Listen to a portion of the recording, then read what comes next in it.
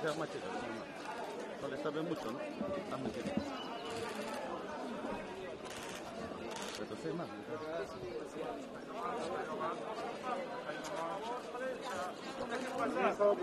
Doctora, buenas tardes. Ahí nomás.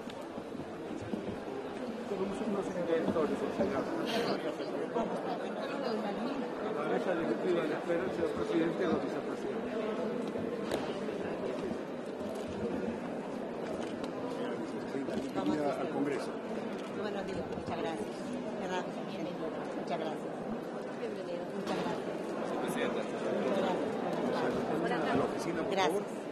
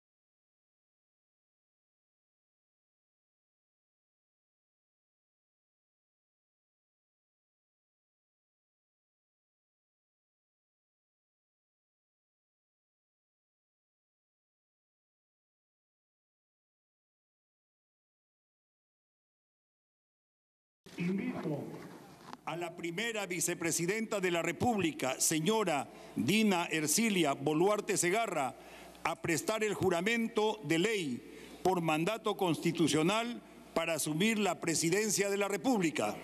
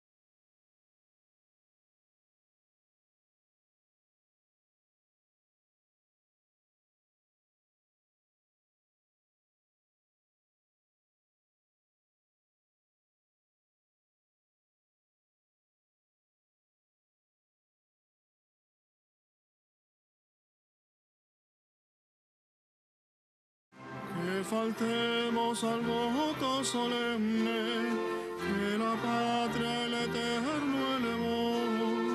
Que faltemos al voto solemne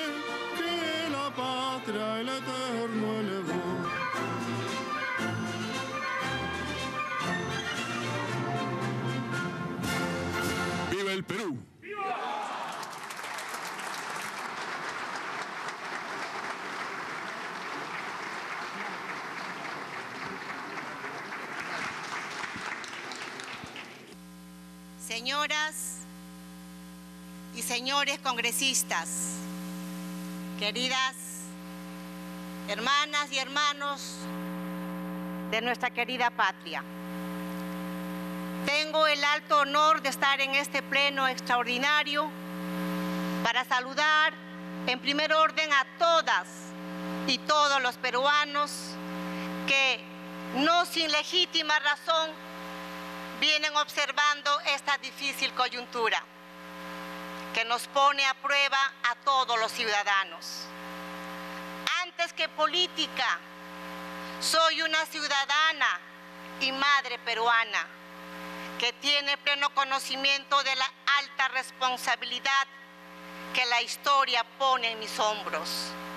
Y atendiendo a esa alta responsabilidad, va mi respeto por los millones de madres peruanas que día a día procuran el sustento para sus familias y son la base del coraje y la peruanidad. Como todos conocemos, se ha producido un intento de golpe de Estado, una impronta promovida por el señor Pedro Castillo, que no ha encontrado eco en las instituciones de la democracia y en la calle. Este Congreso de la República atendiendo al mandato constitucional, ha tomado una decisión y es mi deber actuar en consecuencia. Asumo el cargo de Presidenta Constitucional de la República siendo consciente de la enorme responsabilidad que me toca y mi primera invocación, como no podía ser de otra manera, es convocar a la más amplia unidad de todas y todos los peruanos. Nos corresponde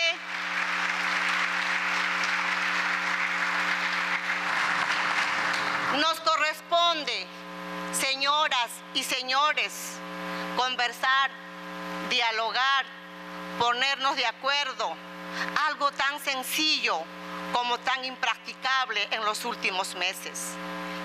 Convoco por ello a un amplio proceso de diálogo entre todas las fuerzas políticas representadas o no en el Congreso. Es imprescindible retomar la agenda del crecimiento económico con inclusión social, del empleo digno, de la atención de emergencia para los sectores vulnerables, de pleno respeto de los derechos fundamentales de los ciudadanos y ciudadanas. Y también de manera impostergable de la reforma política que nuestro país requiere urgentemente. En esta ocasión hago un pedido también y muy concreto a la representación nacional.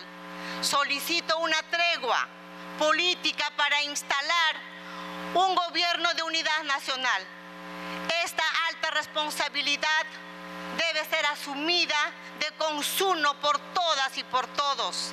No voy a pedir ni podría hacerlo que no, que no fiscalicen a mi gobierno ni que no se escruten las decisiones que se tendrán que tomar. Lo que solicito es un plazo, un tiempo valioso para rescatar a nuestro país de la corrupción y el desgobierno. Y por ello, mi primera medida será enfrentar a la corrupción en todas las escabrosas dimensiones. He visto con repulsión cómo la prensa y los organismos jurisdiccionales cuenta de vergonzosos actos de latrocinio en contra del dinero de todos los peruanos. Este cáncer se debe extirpar de raíz. Por ello, mi primera medida será solicitar el apoyo de la Fiscalía de la Nación, de la Procuraduría Pública, para ingresar sin medias tintas a las estructuras corrompidas por las mafias al interior del Estado y se impulsen investigaciones y sanciones rápidas. Señoras y señores, necesitamos a los mejores peruanos. Gobernar el Perú no será tarea fácil. Tendremos que constituir un gabinete de todas las sangres, donde estén representadas todas las fuerzas democráticas, para que juntos podamos sacar a nuestra patria adelante. A nuestras Fuerzas Armadas, y Policía Nacional instituciones fundamentales de la democracia, como lo hemos podido verificar el día de hoy. Les digo,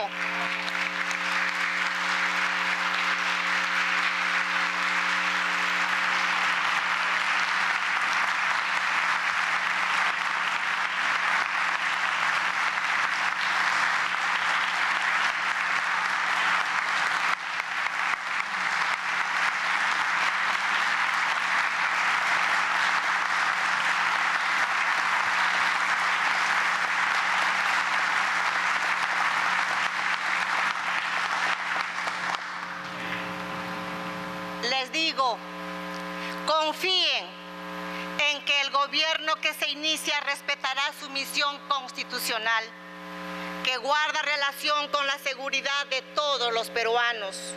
El militar y el policía son en realidad, como lo mencionan nuestras constituciones fundacionales, los ciudadanos con el uniforme de la patria.